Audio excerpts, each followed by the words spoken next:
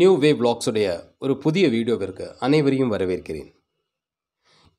இன்றைக்கி நான் இங்கே பேச போகிற விஷயம் வந்து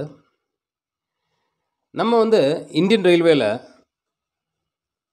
பேசஞ்சர் சர்வீஸ் பார்த்துருக்கோம். அதே மாதிரி குட்ஸ் வேகன் சர்வீஸும் பார்த்துருக்கோம். அதாவது பேசஞ்சர் சர்வீஸ்னால் நம்ம ஆளுகள் வந்து ஒரு இடத்துலேருந்து இன்னொரு இடத்துக்கு போகிறோம் அதுக்குண்டான கம்பார்ட்மெண்ட்ஸ் எப்படி இருக்குன்னு நமக்கு எல்லாருக்குமே தெரியும்.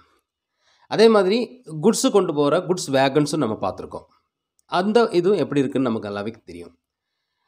ஆனால் நம்ம இந்தியன் ரயில்வே இந்த ரெண்டு சர்வீஸ் மட்டும் இல்லை மூணாவது இன்னொரு சர்வீஸும் இந்தியன் ரயில்வே பண்ணிக்கிட்டு இருக்காங்க.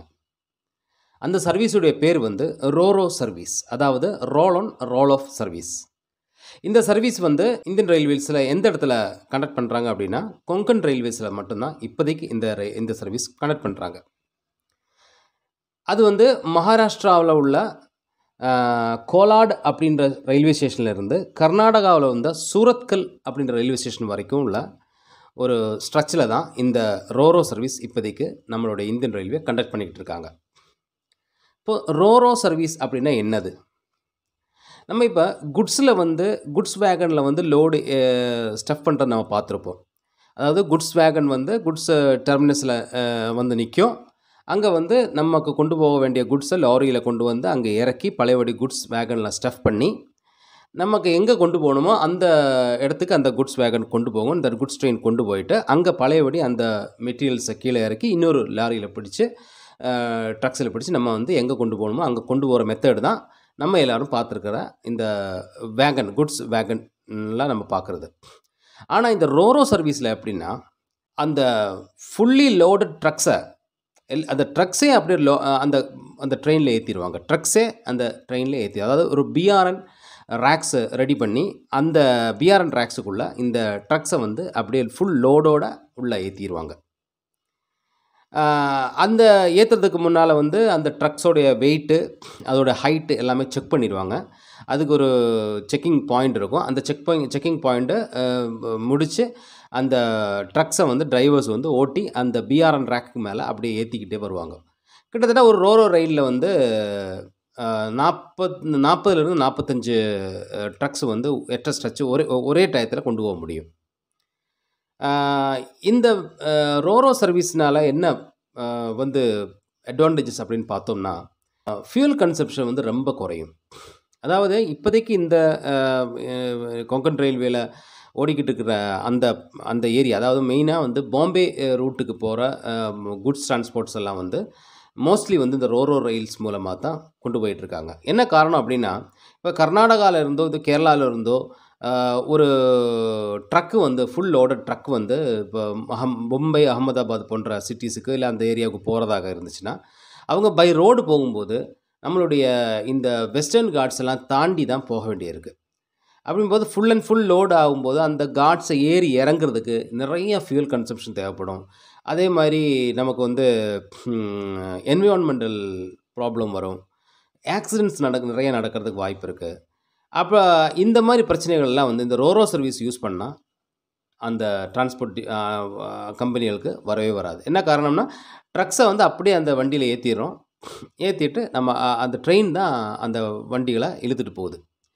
அப்படி ட்ரக்ஸை வந்து அந்த வண்டியில் ஏற்றி ஏற்றி ஏற்றி முடித்தா அதில் உள்ள அந்த டிரைவர்ஸ் அண்ட் கிளீனர்ஸ் வந்து அந்த ட்ரக்குடைய கேபின்லேயே உட்காந்துக்கலாம்.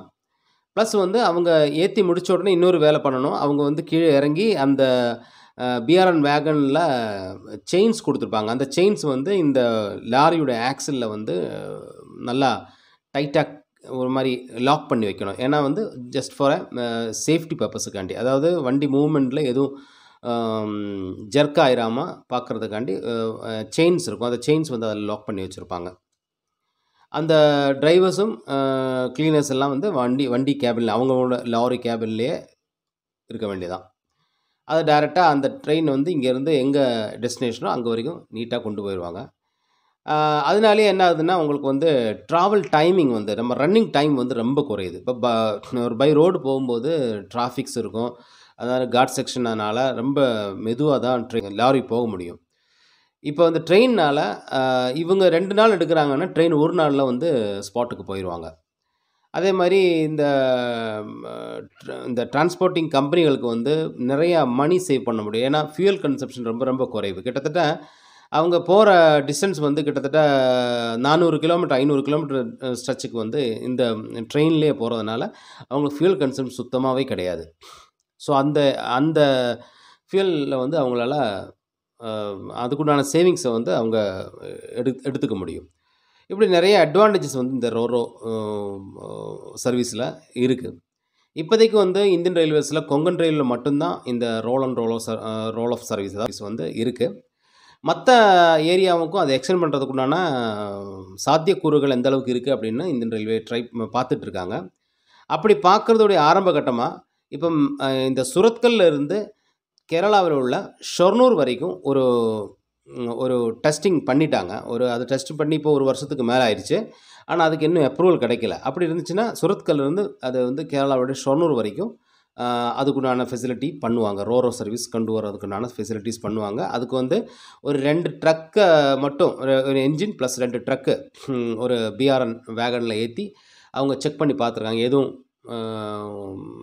டிஸ்ட்ராக்ஷன்ஸ் இருக்கா போகிற வழியில் அப்படின்னு பார்க்குறதுக்காக கோழிக்கோடில் மட்டும் ரயில்வே ஸ்டேஷன் பக்கத்தில் உள்ள ஒரு ஃப்ளைஓவரில் ஒரு சின்ன அதாவது அதில் வந்து எந்த பிளாக்கும் ஆகலை பட் அந்த அது ரொம்ப கேப்பு வந்து ரொம்ப கம்மியாக இருந்துச்சுன்னு மட்டும் பார்த்துருக்காங்க. ஸோ அதெல்லாம் வந்து கிளாரிஃபை பண்ணிட்டாங்க அப்படின்னா ரோரோ சர்வீஸ் இப்போ வந்து கேரளாவுடைய ஷொர்னூர் வரைக்கும் எக்ஸ்டெண்ட் பண்ணுறதுக்கு உண்டான வாய்ப்பு இருக்குது ஸோ மற்ற அதே மாதிரி மற்ற இடங்களுக்கும் கொஞ்சம் கொஞ்சமாக அந்த ஃபெசிலிட்டிஸை கொண்டு வர கொண்டு வரதுக்கு இல்லான வாய்ப்புகள் நிறையாவே இருக்குது ஆனால் நம்ம தமிழ்நாடை பொறுத்த வரைக்கும் இது வரைக்கும் அந்த ரோரோ சர்வீஸ் அப்படின்ற ஒரு சர்வீஸ் நமக்கு இது வரைக்கும் இல்லை.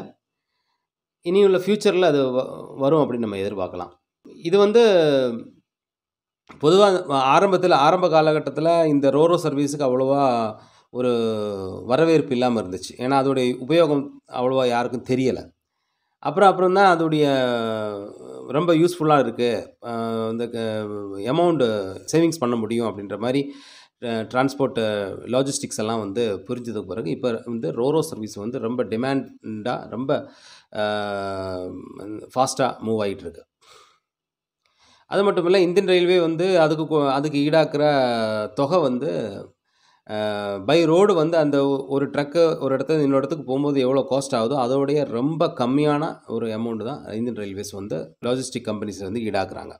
ஸோ ஆகையால் மொத்தத்துக்கே இந்த ரோரோ சர்வீஸ் வந்து நம்மளுடைய குட்ஸ் டிரான்ஸ்போர்ட்டேஷனுக்கு ரொம்ப யூஸ்ஃபுல்லான ஒரு சர்வீஸாகவே நம்ம பார்க்க வேண்டியிருக்கு. கூடிய விரைவில் மற்ற இந்தியாவுடைய மற்ற இடங்களுக்கும் இந்த ரோரோ சர்வீஸ் வரும் அப்படின்ற எதிர்பார்ப்பு எல்லோருக்கும் இருக்கிறது.